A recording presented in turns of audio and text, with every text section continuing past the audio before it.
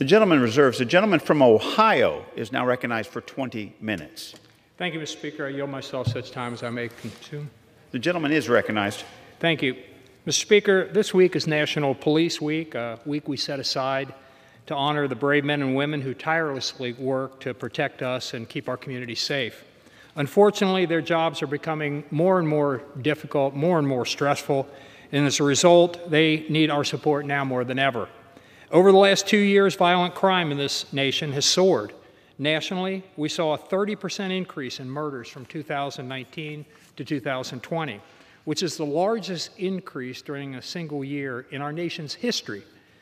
That troubling trend continues in 2021 with FBI data indicating that homicides rose another 5% in the nation's 22 largest cities over the already inflated levels of 2020.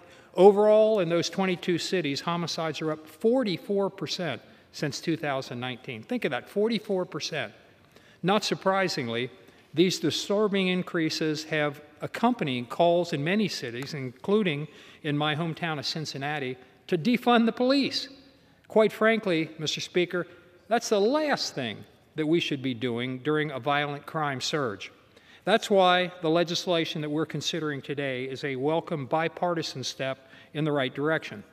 Law enforcement officers, firefighters, emergency medical personnel, and corrections officers are frequently called to respond to dangerous and often traumatic situations. As a result, these officers are at a greater risk of developing stress and trauma related disorders. Studies show that public safety officers are 25 times more likely to develop PTSD compared to the general public. Tragically, more public safety officers die by suicide every year than those who lose their lives in the line of duty. And yet, trauma related disorders are not covered by the primary federal disability benefit program for police officers, and that's the Public Safety Officer Benefits or PSOB program, which is run by the Department of Justice. The PSOB program currently provides death and education benefits to the family members of public safety officers who die in the line of duty and also offers disability benefits to public safety officers who become totally and permanently disabled. However, the PSOB program does not currently offer death benefits to public safety officers who tragically take their lives as a result of PTSD, acute stress disorder, or other stress and trauma related disorders.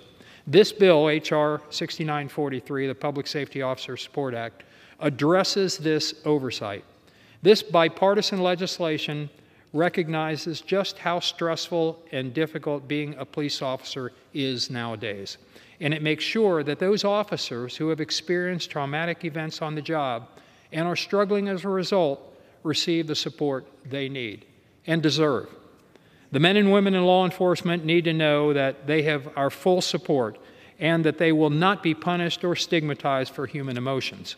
And so I urge my colleagues on both sides of the aisle to support this common sense, compassionate proposal, and I reserve the balance of my time.